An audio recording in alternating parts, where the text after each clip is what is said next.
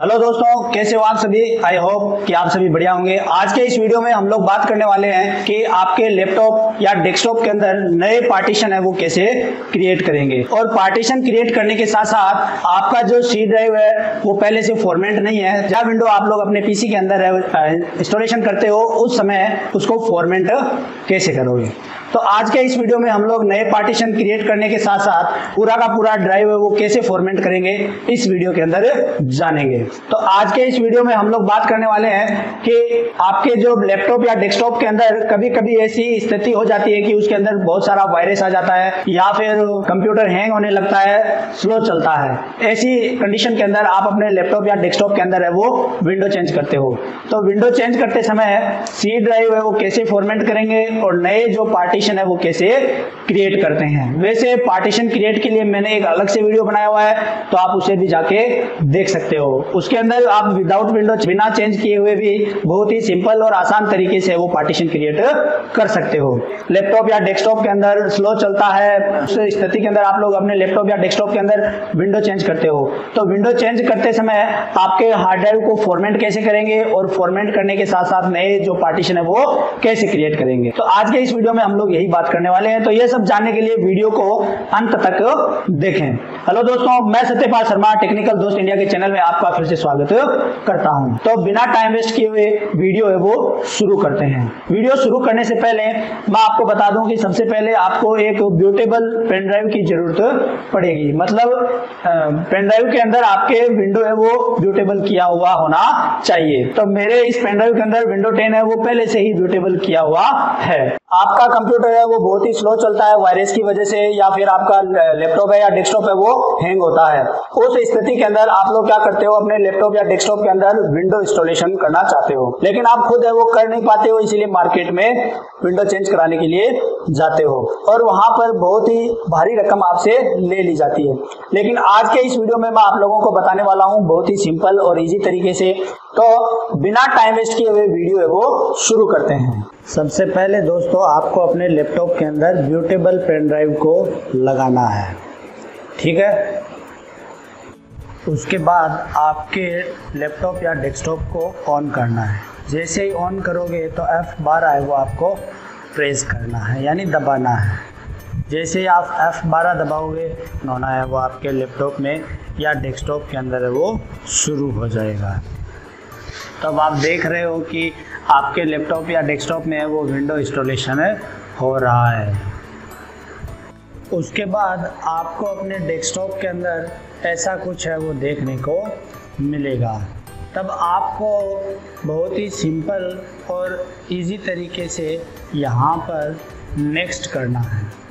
जैसे आप नेक्स्ट करोगे, उसके बाद आपको यहाँ से इंस्टॉलेशन नाउ पे है वो क्लिक करना है। जैसे आप क्लिक करोगे, उसके बाद जो नेक्स्ट स्टेप आने वाला है, वो भी मैं आपको स्टेप बाय स्टेप बताने वाला हूँ। उसके बाद आपको इसमें जो भी बिट है, वो सिलेक्ट करना है, या आप के में या एसटीडी के अंदर जिसमें भी इंस्टॉलेशन करना चाहो, उसमें कर लेना, ठीक है? उसके बाद आपको बहुत ही सिंपल तरीके से नेक्स्ट करना है। जैसे आप नेक्स्ट कर दो, तब उसकी जो भी टर्म कंडीशन है, उसको आपको एक्सेप्ट करना है और नेक्स्ट कर देना है। और ध्यान रहे, यहाँ पे क्लिक नहीं करना है आपको, यहाँ पे कस्टम के अंदर आपको इंस्टॉलेशन करना है और यहाँ पे क्लिक करना है। तो यहाँ पे मैं नेक्स्ट कर देता हूँ।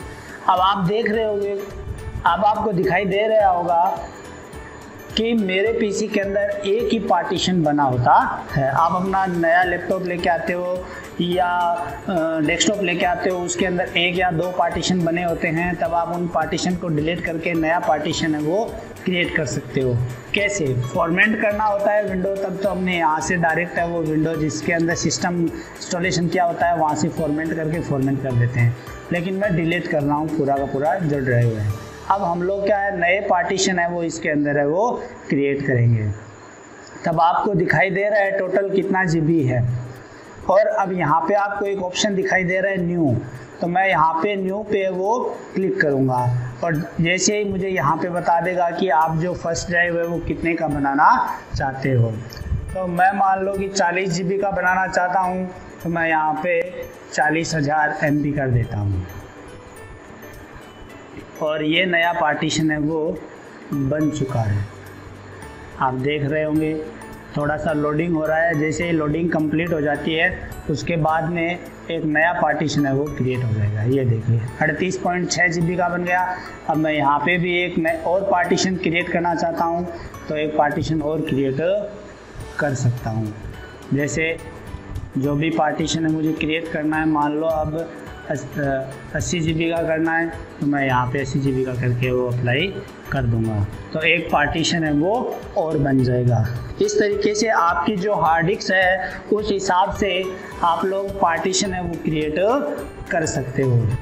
और जैसे मान लो कि मेरे फ़र्स्ट वाले में यहाँ पे प्राइमरी नाम आया हुआ है, यदि विंडो उसके अंदर होगा तो यहाँ प्राइमरी की जगह वहाँ पे सिस्टम नाम दिखाई देगा। तो मैं इसको फॉर्मेट करके नया विंडो है वो इंस्टॉलेशन कर दूँगा और यहाँ पे नेक्स्ट कर दूँगा।